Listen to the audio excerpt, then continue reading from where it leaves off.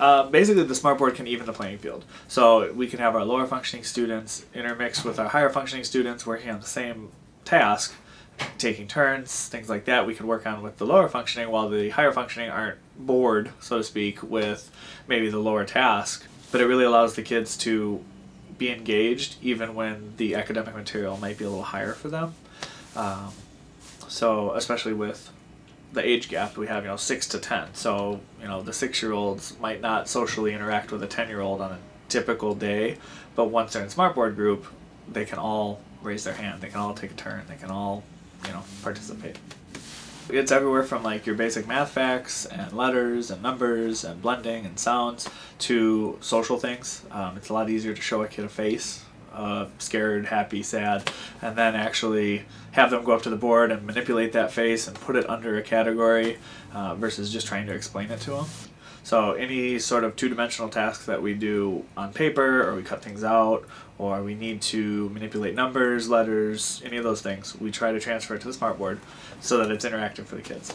Um, that way, instead of being sitting at their desk, you know, one at a time, we can actually take a group to the smartboard, have them manipulating things. So if we wanted to throw out a new activity, it took, you know, two weeks to plan it, to cut it out, to get the staff to go laminate it, to do all those things. Whereas now, you know, 20 minute search on the internet and you can find an activity for what you're talking about and it could be in the next day. Um, so it really cuts down on that time that's needed to prepare. iPads are proliferated through all of these kids' lives. Uh, smartphones, uh, iPads, any type of tablet, they're pretty proficient at it. You know, you might have a student that can't read very well or they can't, you know, do math, but then you give them a tablet and they're punching out numbers and they're finding websites and they're scrolling through stuff. So to take that from just a reinforcer like the iPad and they're watching a, a cartoon or they're doing something like that, and then morphing it into it's an activity with built-in videos, with built-in reinforcement, we're kind of getting the academic piece plus the reinforcer. So it kind of blends the two, and the kids kind of learn without feeling like they're learning.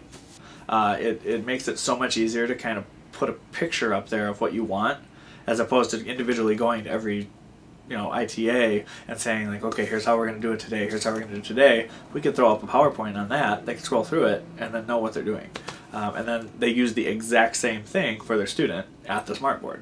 So it's you don't lose that. You know, how do we do this in the cubby or how do we do this in the gym? It's the smartboard.